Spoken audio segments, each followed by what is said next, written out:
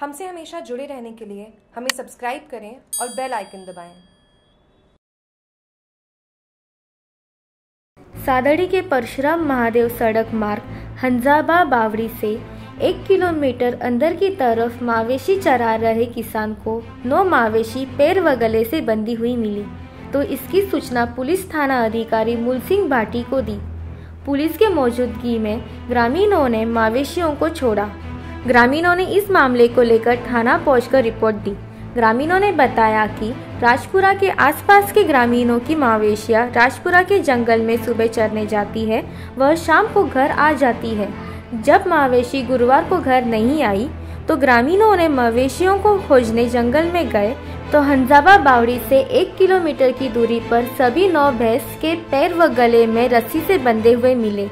इस मामले को राजपुरा के ग्रामीणों ने रिपोर्ट देकर कानूनी कार्रवाई की मांग की है। सादड़ी से जागरूक टीवी की रिपोर्ट।